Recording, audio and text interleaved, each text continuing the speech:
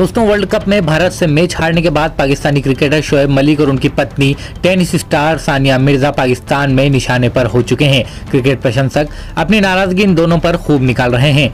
वहीं आपको बताते चलें कि पिछले दिन सानिया मिर्ज़ा पर भी एक हमला होते होते बच गया। एक क्रिकेट प्रशंसक ने उन पर हमला कर दिया, जिससे वो बाल बाल बची। वहीं शोएब मलिक अभी तो इंग्लैंड में ही हैं। इस हमले के बाद सानिया मिर्ज़ा पर कड़ी सुरक्षा रखी जा रही है। वहीं आपको बता दें कि शोएब और सानिया के साथ पाकिस्तान के बाकी क्रिकेटर खिलाड़ियों की इंग्लैंड के शीशा कैफ़े में रात की एक फ़ोटो और वीडियो सोशल मीडिया पर खूब वायरल हुई।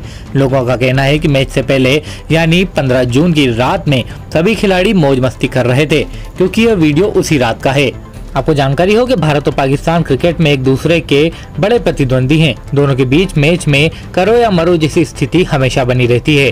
इसलिए वीडियो सामने आने के बाद पाकिस्तानी लोग इसे अपने खिलाड़ियों की लापरवाही मानते हैं और गुस्सा ज़ाहिर कर रहे हैं। हालाँकि जिस वीडियो को शेयर किया जा रहा है, वह है तो सही, लेकिन मैच से एक दिन पहले का नहीं। यह वीडियो तेरह जून की रात का है, न की पंद्रह जून की रात का।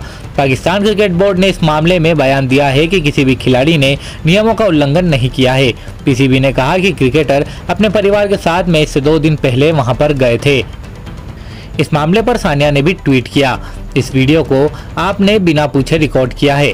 यह हमारी निष्ठा का उल्लंघन है, जबकि हमारे साथ बच्चा भी था। मैच हारने के बाद भी लोगों को बाहर डिनर करने की अनुमति होती है। तो दोस्तों, इस बारे में क्या कहना चाहेंगे आप? सानिया मिर्ज़ा पर हुआ ये हमला किस चीज़ को जताता है? अपनी राय हमें कमेंट्स में ज़रूर दें और ऐसी और खबरों के लिए हमारे चैनल को सब्सक्राइब ज़रूर कर लें। एम न्यूज़ हमेशा सच के साथ।